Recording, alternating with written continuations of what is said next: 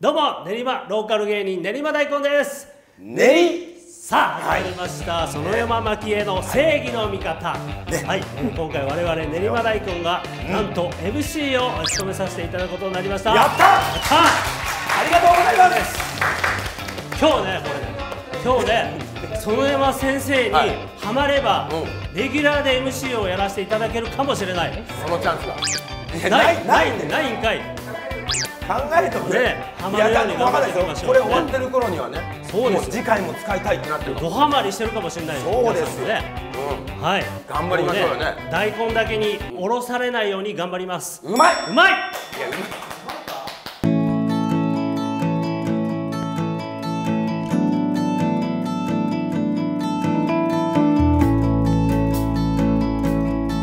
ちょっとちょっとあの被ってます。すいません。かぶってるじゃないのお前。そそれはさっていうか杉山さんこの方々誰ですか？っ初めましてですね。初めましてですね。すいません。ていうか世の中の人って知ってる人どれぐらい？ちょっと待いってください。やちょっと待ってください。まあその痛いとこついてきましたけどいきなり、そんなすぐ正解求めたいですか？あのまだ若い。いやいやいやもうもう。えっ、と今年40になりました。はい若手ですよ。若手です。大第7丈夫です第7世代です。はい。我々、うん。東京の練馬区だけで活動してるんですよ。えあじゃでも私練馬区に住んでたことあるんです。あ本当ですか？知らない。ですか？あ俺ももぐりですねもぐりですよ。ねそれは。それはもぐりです。練馬区民で知らない人はいないですいないです。我々これ見てる練馬区民の人は多分ね。あはい。ああの練馬大根だって。ただ一歩出ると誰も知らないですけど。はい、練馬では有名です我々、はい。なんで売れてないんですか？売れてないのにどうやって生活してるい、やいや一応番組は出てらっしゃる、はい、番組はい。一応番組はやっておりおます。恥ずかしい。はいすいません。すみません。私も恥ずかしいです。いやとんでもない。一応あの j コムのケーブルテレビで7年やっておりました。はい。何を、はい。何を？あの地域の。地域の情報番組。のえそれで何をする？あえっと MC なのでレポ ぐいートぐい質問するじゃないですか。いやちょっと不思議だなと思って、不思議だなって。見た目がですか？いやあの失礼ですけど売れない芸人を初めて見ました我々で。あの実は我々みたいな、はい。い、わゆる地下芸人って言われる芸人っていうのは世の中に何百万人っているんです。本当に。いいやそうなんです頑張ってください。やいやいや頑張ります。頑張りますよ。えーえでもなんか助けてあげたくなりますね、じゃあちょっと また呼んでくださいよ、本当は今日違いますからね。そうですよ。はい。いや大好きなお姉様、中島文江さんと私の企画だったんですけどいつの間にかこんこんなっていやいやこんなってちょっと待ってくださいよ。はい。いや緊張すると呼んできます。な本当に。あ呼んでくるえんですね。怒られないかな？すみませんお待たせしました。大丈夫ですか？ごめんなさいお待たせしました。あ来ました。すいません。ちょっとあのよくわからない方々がいてごめんなさい。よろしくお願いいたしますいやもう本当に。いや緊張しちゃって本当に。いやいやいやいやいやいや。いやいやいや。なんていう組合ですかいや我々なんて恥でいいんですからもうすいませんいやいやいやいやよろしくお願いしますはいお願いいたしますすごくないですかこれいやすごいですよこれそれを持たれたんはいですごいと思います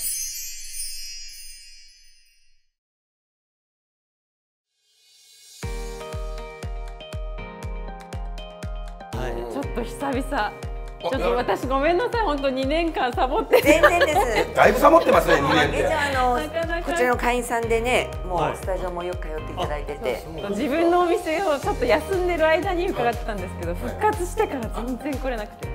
そそう言われると何とも言えないですよね。はい。お二人の関係性というのはどういう関係？確か、は最初は。うのさんの。うのさん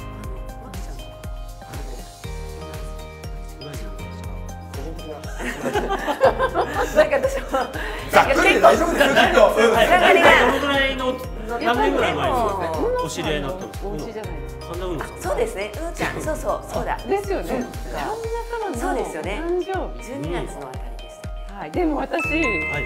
旦那様ともあもううちシェフなのであそうですよね。い旦那様なんですよはいあそうですよね。料理つながりで。料理ではもい。ろいろだから負けちゃんの結構いろいはい。ろお友達とか主人つながりでもいはい。ご縁があって。あじゃあ共通の知り合いもたくさんいらっしゃるってことそうですね。はい。はい、いやでもこの、えー、真っ逆さまなヨガは逆立ち。はい。もうこう世界初ですよね。まあ多分簡単にできるよ。さ逆さまは初めてだと思い。ます。もう鳥肌立ちました。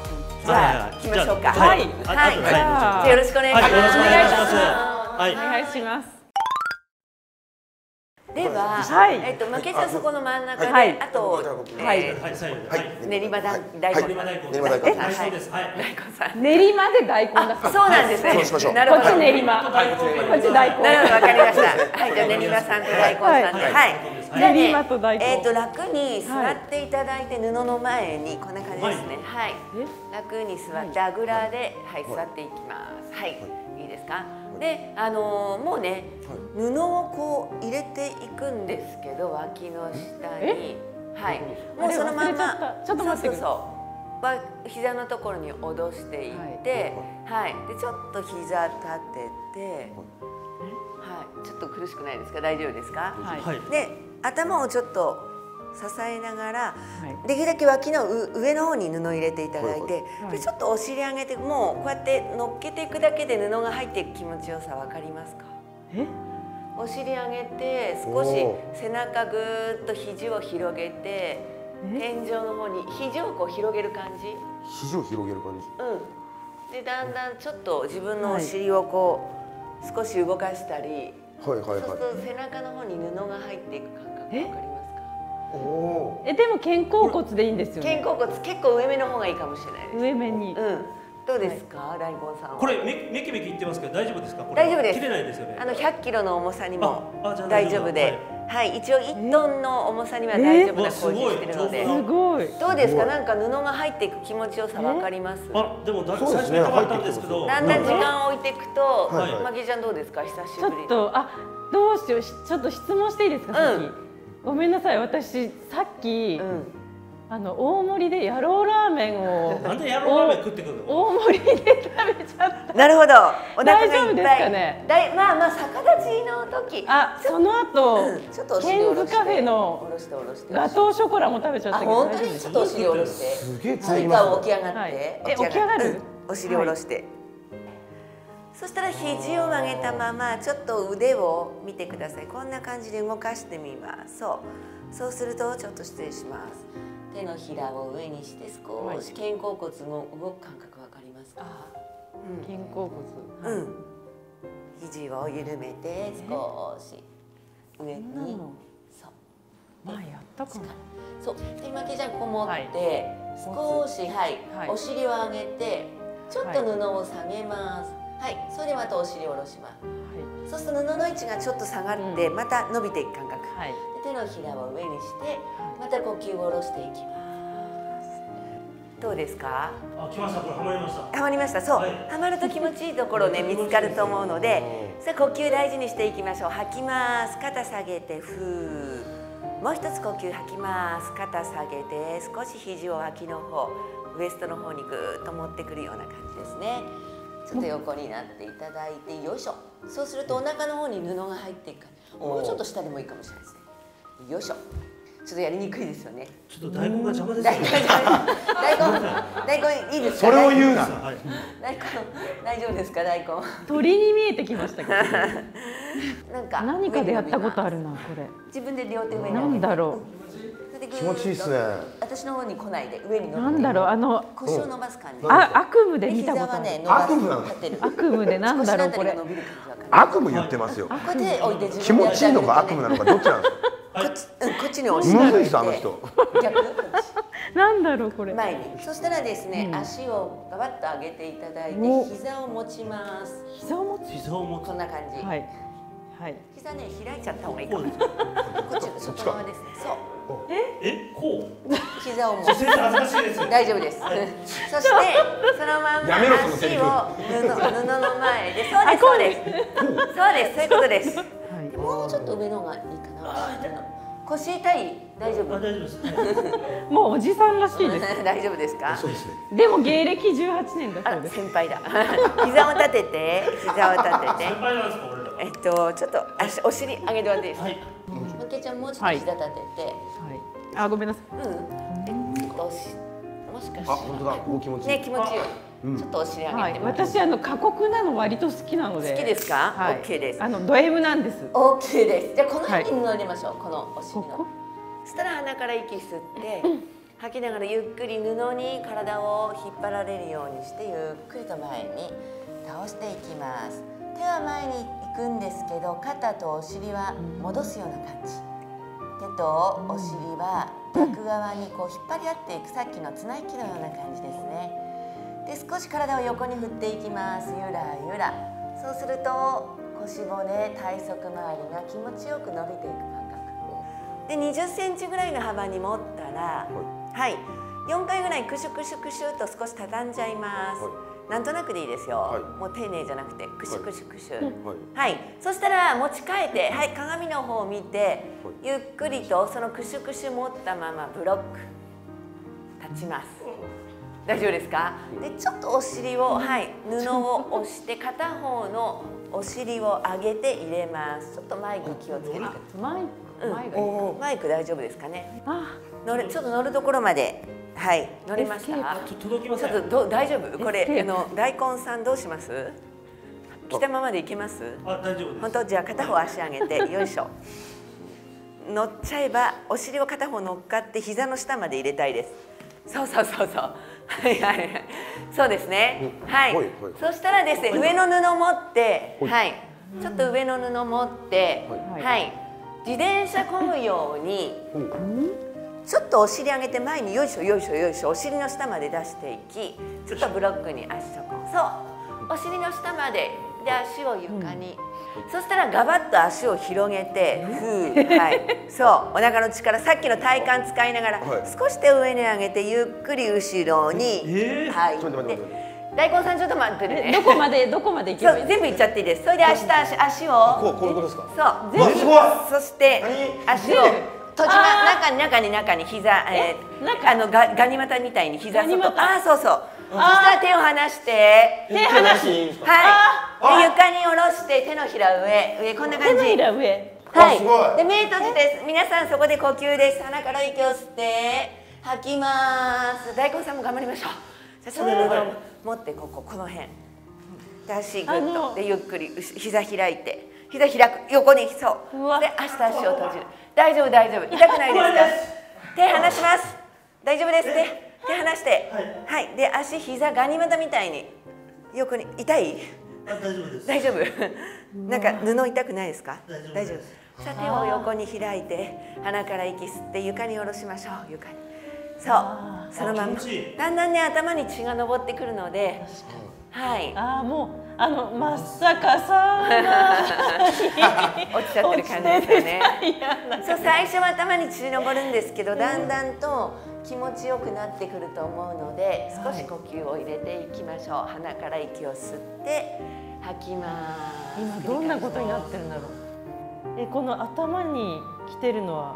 いいことです。やっぱりあの末端の方にどうしても重力で落ちるのを逆に頭の方に血を回してる感じです。血が上ってる感のねで末端の方の血を全部頭とか指先の方に回してる感じです。だんだんね。寝不足の時って大丈夫なんですか？あ、なんか体調悪い時はあんまり無理しない方がいいと思うんですけど、はい逆にちょっとすっきりしたり、なんかこう重い頭が楽になったりなんていう声もありますね。ゆっくり呼吸を吐いて吸っていきます。じ気持ちいいですねちょっとぼーっとしてそうですよね。いいと思います。逆立ちの効果の一つです。だんだんと副交感神経が上がってきて、逆にいつも使っている頑張っている方の感覚、足の重さで足の重さで、そうです。足の重さーで生き返った感じです。よいしょ。あどうですか？あ、なんかすっきり顔はしてる感じが見えます。あなんか生まれ変わったような売れてきたような気がします違う違うそれは気のせいそれはあくまで気のせいなんであそれは私が就職先見つけたからああ見つかったんですね。ありがとうございますええ変なエステより全然すっきりしてる。すっきりしますよね。じゃあ最後シャバーサなんて普通マットの上で寝るんですけ可ど、愛い今度布の上で寝ます。コウモリはい、上の手をこんな感じで広げましょう。そしたら頭を後ろに乗っけて寝ちゃいます。肘も緩めましょう。で、布にかかとを入れて、かかとで蹴りながら少しお尻をもっともっと上の方に、うん、ぐっと上げてって、もっともっと。で少し肘を曲げて布から出しても気持ちいいかもしれません。あ肘を曲げて、ね。頭の方にこんな肘曲げてあこっち。こっちです。そうそうそう。あ。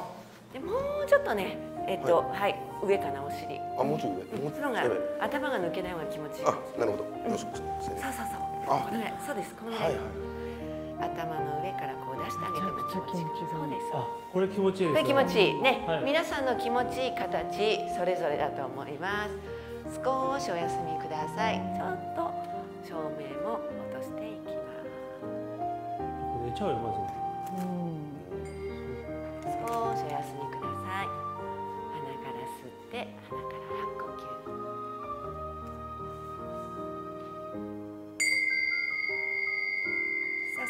しずつ感覚をご自身の方に戻していきます。手や足をグーにしたりパーにしたりして感覚を戻していきましょう。さあ両手万歳頭の上に少し持ってって伸びます。呼吸を吸いましょう。伸びて伸びて。脱力。力抜いていきます。膝を曲げて布から出していきましょう。膝を曲げてまず布から出してそしてゆっくり起き上がっていきます。大丈夫ですか？うん。はい。そうしましたらいかがですか？皆さん。寝たい。や本当ですよね。気持ちいいですね寝たいです。ちょっと休まったようですね気持ちの、えー神経の方が。寝たいな。そしたらはい、えー、と空調がね楽しんでいただけたと思いますので、はい、ゆっくり最後マットの方に降りてください。いかがでしたか？ちょっとすっきりしましたかね？えー、このままにこのままであ話してたらダメですかいいですよ。じゃああのそのままでいいいですね。布が気に入っていただけたようで、はい。大根さんは大丈夫ですか？はい。すっきりしました。すっきりしましたはい。は練馬さんもい大丈夫。はい。大丈夫ですね。よかったです。皆さんこのままじゃなくて大丈夫ですこのままじゃ座る？